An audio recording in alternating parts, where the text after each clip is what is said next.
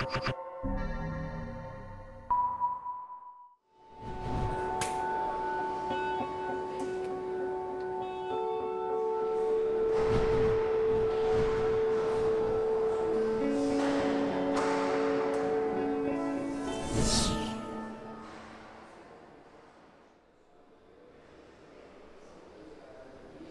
les ateliers, au départ, quelque chose euh, a émergé qui a été de l'ordre du témoignage et qui, euh, qui représente beaucoup euh, le secteur hospitalier, mais pas que. Ça prend aussi en considération une pluralité de métiers plus importante. Les métiers de l'humain, on appelle ça. Ben, ces gens-là proposaient de partir de l'expérience de, travail des, soignants, mais pas seulement, des, usagers, de, de, plein de gens autour qui contribuent à, à, ce système de santé. Alors, En tout cas, ce qui est important pour nous, de ce qu'on va essayer de retrouver dans ces ateliers, c'est la question de qu'est-ce que c'est que le soin en fait. Et de poser ça en termes de soins, du coup, ça permet de comprendre où sont positionnées les ruptures et comment on fait pour euh, inventer autre chose. C'est pour cela aujourd'hui qu'on se bat en fait euh, sur le terrain, donc que ce soit pour faire évoluer nos compétences de travail, que ce soit dans des groupes de formation euh, ou là euh, les ateliers euh, comme à Marseille, où on discute et on échange sur cette façon de, de, remettre l'humain en fait dans le cœur du soin et ce soin qu'il soit adapté en fonction bah, des besoins en fait de l'humain, ce qui n'est pas du tout le cas aujourd'hui.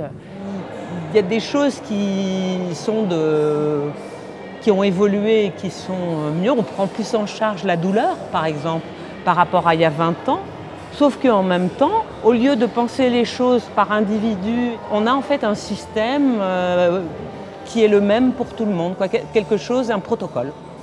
Euh, la qualité du soin, pour moi, elle va dépendre aussi euh, de la personne qui va le faire. Et puis, il n'y a pas seulement hein, le chirurgien, après, c'est aussi les aides-soignantes et les infirmières aussi.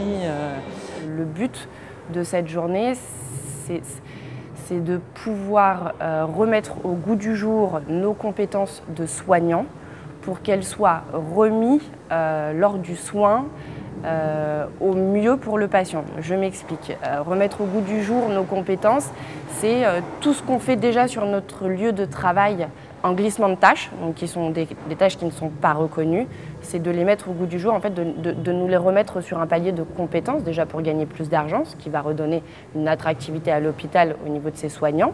Et si on prend juste pour le soigner, qu'il se sente en réalité considéré euh, lorsqu'il est malade, ce qui n'est pas le cas aujourd'hui, euh, malgré les efforts qu'on y fait. Il y a toute une partie du travail invisible qui n'est pas pris en considération. Quand euh, tu écoutes ou que tu lis le récit euh, d'un agent de service hospitalier euh, qui est là pour passer la serpillière et distribuer les plateaux repas, et qu'en fait tu t'aperçois que cette personne-là, bah, elle fait des tas d'autres choses euh, en termes de, soins.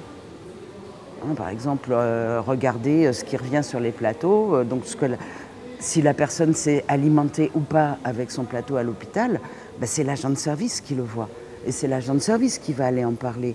Donc, inévitablement, quand on prend conscience de ça, on la regarde plus pareil, la dame, avec sa serpillière et son chariot de plateau repas.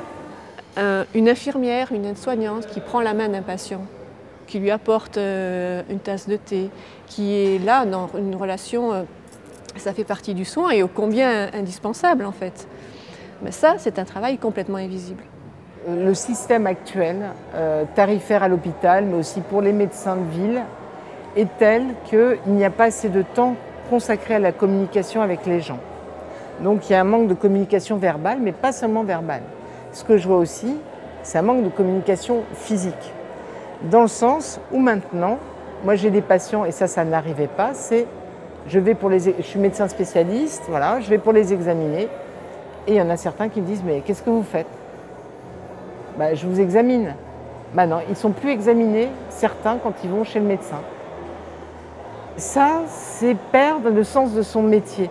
On voit bien euh, comment euh, cette idée de dire on est empêché de soigner, la gouvernance qu'on nous a impo imposée, mais pas seulement la gouvernance, hein, les contraintes financières, fait qu'en fait on, est contraint depuis des années à faire du travail posté et du travail technique. Et donc on a perdu et donc, le soin, en fait, le soin au sens non technique du terme. Et en même temps, ils sont tellement dans une organisation tellement hiérarchique où il n'y a absolument quasi pas d'espace ou très peu pour la parole pour le soin en tant que le rapport à l'autre. C'est de changer la gouvernance de l'hôpital. Hein. Il faut arrêter ce face-à-face entre une bureaucratie euh, armée de tableaux Excel euh, qui compte euh, quels sont les actes qui sont rentables, lesquels ne sont pas rentables à cause de la tarification à l'acte, etc., qui fait une pression terrible sur les soignants, qui les empêche de soigner, dans beaucoup de cas, comme ils voudraient, parce qu'il y a des actes qui ne sont pas rémunérés, et donc euh, on les incite fortement à ne pas les exercer, y compris d'ailleurs parler avec le patient. Ce n'est pas rémunéré ça, c'est du temps perdu. C'est une folie furieuse ce truc. C'est une folie furieuse.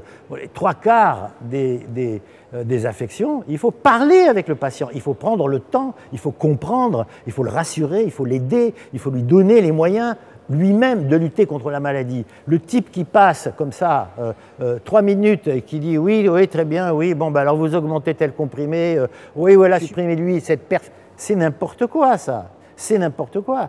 Alors je ne les blâme pas, ils ont peut-être énormément de patients. D'abord, tout le monde ne fait pas ça, hein. tous les médecins ne font pas ça. Mais ceux qui font ça, ben, peut-être qu'ils sont désabusés ou bien qu'ils ont trop de patients, mais n'empêche que là, il y a une dimension humaine, que ce soit dans la communication non seulement verbale, mais aussi physique, qui est en train de se perdre. Et nous, on n'est pas seulement là pour faire des ordonnances de médicaments qui font marcher l'industrie pharmaceutique. On essaye de nous faire, euh, de nous vendre la, les outils digitaux actuellement, en parlant de télémédecine, téléconsultation, qui peuvent rendre de grands services dans certaines spécialités et dans certaines activités ciblées. Mais la téléconsultation dont on nous vante les mérites, c'est de la excusez-moi, c'est du brin en barre, hein, c'est de la merde en barre. C'est-à-dire que c'est pas de la bonne qualité en général. On ne peut pas faire ça tout le temps. Ça peut aider dans certaines situations de crise, etc. Mais la téléconsultation, c'est quoi? C'est euh, au téléphone et en visuel le patient. Donc déjà, on a une voix déformée, euh, une vision déformée, et on ne peut pas l'examiner, on ne peut pas le toucher. Il y a toute la communication infraverbale qui n'existe pas, la communication physique, le doral, oui, euh, la palpation. On nous prive de tout ça. Pourquoi? Dans quel but? Pallier les déserts médicaux et aussi faire des économies personnelles. Les gens qui ne viennent plus à l'hôpital, bah, il n'y a plus besoin d'agent d'accueil, il n'y a plus besoin d'infirmière, il n'y a plus besoin d'aide soignante, il n'y a plus besoin de secrétaire. Maintenant, voilà. Et finalement, si on fait que ça, ou si on se contente de ces soins palliatifs pour la médecine, parce que c'est des soins palliatifs de médecine qui nous proposent, ça sera une médecine vraiment de mauvaise qualité et ça coûtera beaucoup plus cher au bout d'un moment. Il faut à un moment donné que la nation considère que cette santé, c'est un investissement, c'est pas une dépense publique, mais c'est vraiment ce qui va, qui est aussi moteur, moteur de notre, de notre, de notre vie et de notre population.